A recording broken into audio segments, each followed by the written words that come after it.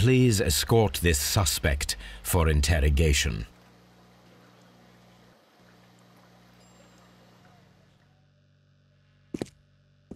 A good day to you.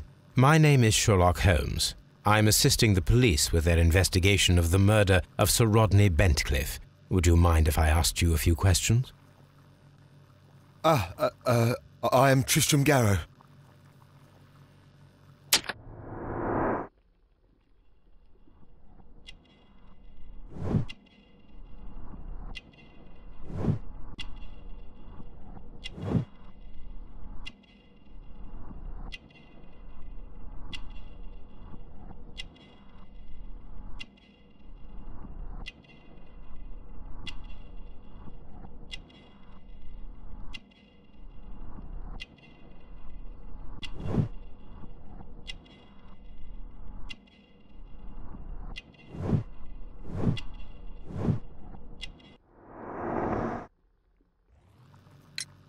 What is your occupation?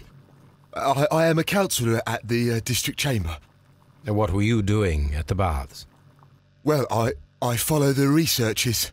I am uh, I- interested in, in archaeology. You follow them? Yes. So many things happened and w- we need to know.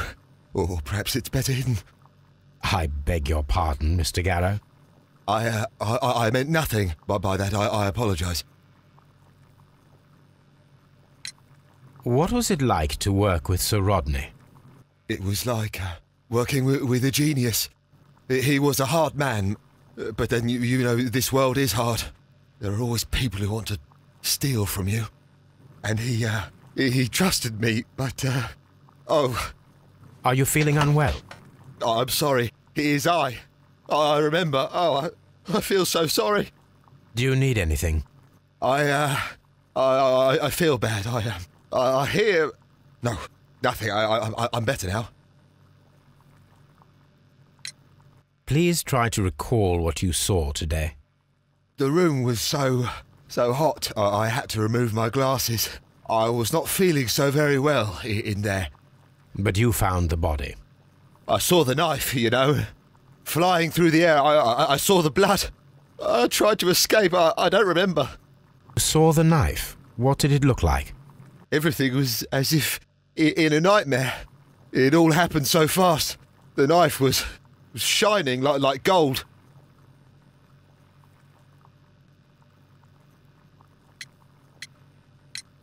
Had Sir Rodney exhibited any recent strange behaviour? Well, he, he had been rather secretive these past few days. Last Thursday, for, for example, I, I saw him leave. When he returned, it, it was very late. He showed me some wet coins, Roman coins, and uh, he- started to laugh. This is the coin that, that he showed me. It is from the third century. It must be very rare. No, I, I, I, I don't know. We discovered some melted silver in the brazier. Did you put it there? It didn't help. The power is too strong. His ring! Oh, it should be destroyed. Why do you say that? It is a cursed ring, digging dark secrets. Really? I. Uh, it is after me now. I know it. Uh, I shouldn't have worked on it in the workshop. It's too late now. Did you place the bottle of champagne in the changing room? What? No. Thank you. Thank you. Th- th- This will help me to calm down. Do be careful with the dosage. I, I will. I mean it. Garrow appears to be rather mentally disturbed. Either that or he is a good actor.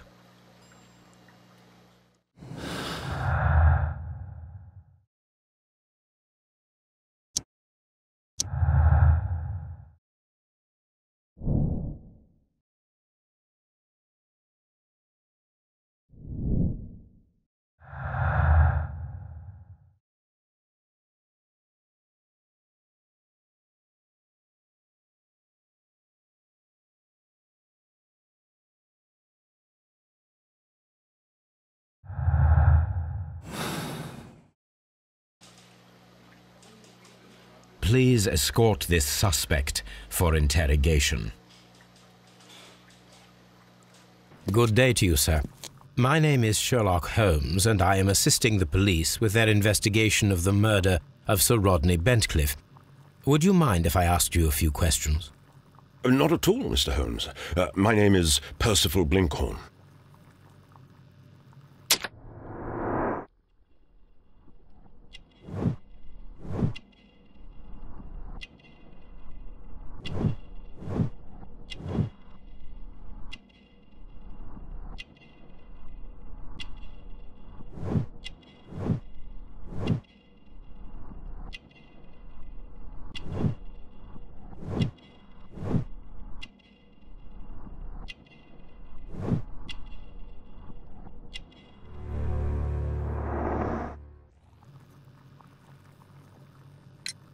What is your occupation? I'm an archaeologist, specializing in the Roman period. I'm working on several excavation sites at present, including the baths at Strand Lane. Hmm. Can you tell me more about the baths? Well, we're hoping to retrieve a great many interesting artifacts from the site, and to list any items of value before their eventual restoration and exhibition. And has it been successful? It has, thanks to Sir Rodney. What was your relationship with Sir Rodney? Well, I couldn't say that he was a kind man, no. Uh, but he was talented. I felt a great admiration for him, I, I must say. Was it your first collaboration? I had met Sir Rodney briefly once in Egypt, and I'd shared my researches with him. Surprisingly, my work did convince him to come here. He arrived only a couple of months ago. Surprisingly. Well, Sir Rodney is, uh, was, God, a cold man, and so very secretive, too. But I learned so much from him. I can't believe that he's dead. Can you tell me what you saw today? Well, we entered the steam room and we all went to sit down. Uh, the steam was particularly dense, and I didn't see anything much further after that. I just heard Mr. Garrow shouting, but we all ran for the door and bumped into each other. I was very alarmed by this point. What did you do? Well, the door was stuck, and with all the steam, it was quite frightening. I was barely able to see my own feet. Garrow was covered in blood. Do you believe that Garrow killed Sir Rodney? Oh, no. Garrow couldn't harm a fly. Can you recall any recent event that would occur to you now as being a little strange? Well, yesterday we had a small argument. Is that all? No. Sir Rodney informed me that he was to attend the London Archaeological Congress with me. Then he advised me of quite the opposite. And rather aggressively, too. Do you recognize this ring? Uh, certainly. It's the famous Aswan ring. Sir Rodney brought it back from his last campaign in Egypt. And he kept it for himself.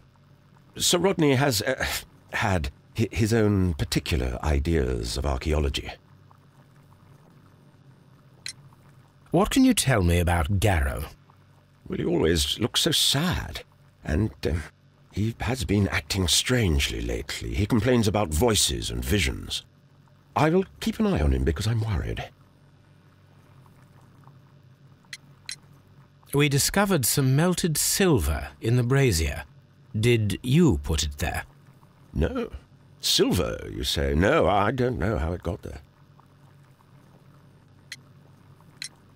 Did you place the bottle of champagne in the changing room? No, I did not. How well were your researchers progressing before Sir Rodney's arrival? Rather well.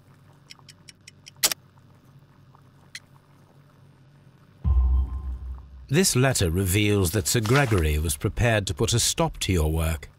Um, yes. But since Sir Rodney's arrival, he had calmed down. He allowed us to work. Uh, I'm not sure what they agreed on. What will happen now that Sir Rodney is dead? Well, I haven't thought about that. Uh, but if it's needed, I will fight to defend Sir Rodney's expectations.